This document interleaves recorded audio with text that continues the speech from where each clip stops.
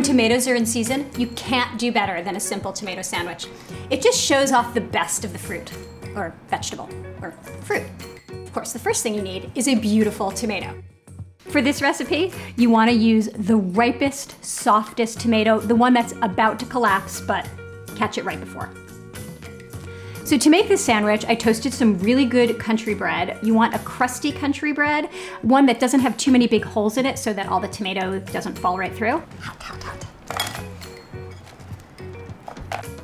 Take a garlic clove and to have it so that you have a little bit to hold on to. And what I'm gonna do next is I'm gonna rub this cut garlic right into the bread.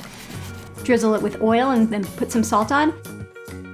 And then take a halved tomato and just rub it all over.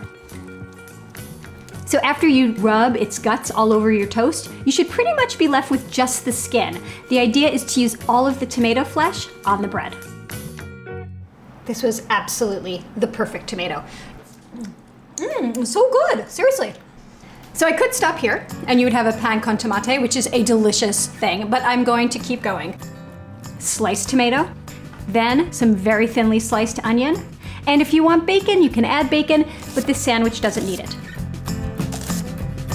for a final little just ending note, mayonnaise. This might be the only time I tell you not to go and make your own mayonnaise. You really want to just use the store-bought stuff here because you want that little bit of sweetness to contrast with that garlicky bite that you have on the bread. The only way to eat this is over the sink.